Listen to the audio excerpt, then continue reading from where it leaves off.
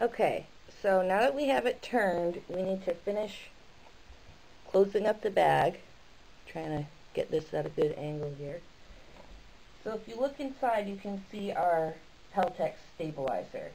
What you want to do is fold the burlap edge over the Peltex, right along the top edge of the Peltex.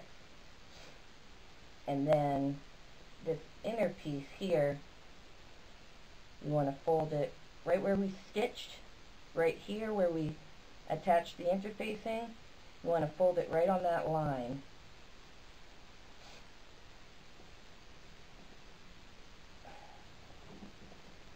There we go.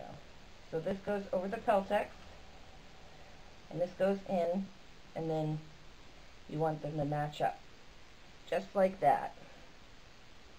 I'm going to get the clip.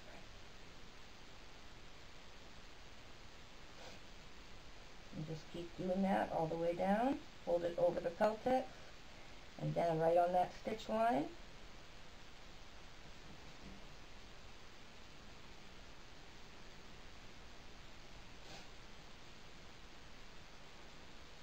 You want to get it all the way over to the edge. Now I see I have a little wrinkle here, so let me try to adjust that.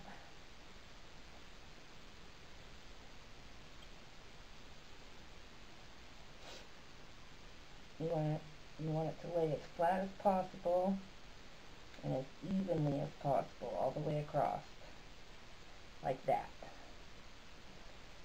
Then do the same thing on the other side.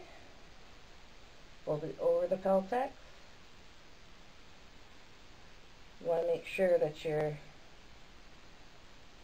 side edges, the side edge here is folded where it's supposed to be and that'll make it a lot easier to match this up.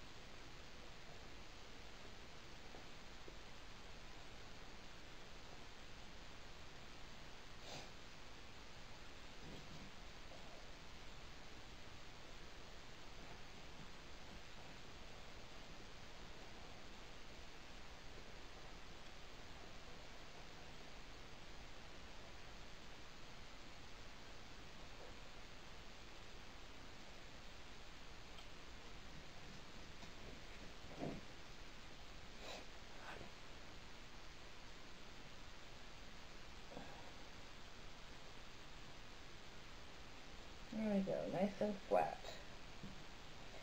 So now I'm going to go back over to the sewing machine and I'm going to stitch real close to the edge here along where it's open on both sides just to close it up.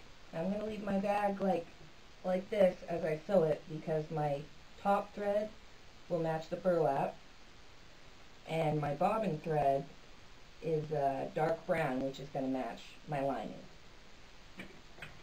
So we're just going to slip it on here. Find where the closure starts,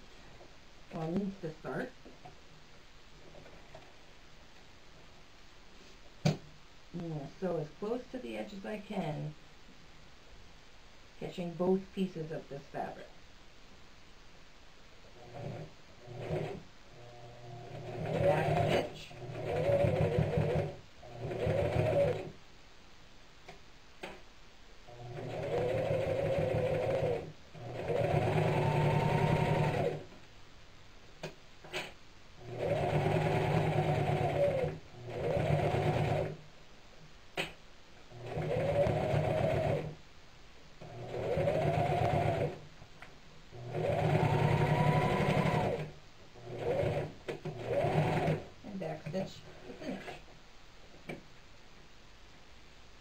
Now you should look and make sure you cut both pieces of fabric on the top and the bottom all the way across, which I did.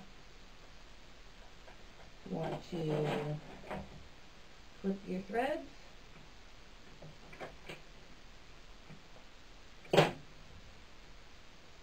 And then flip it over and do the other side.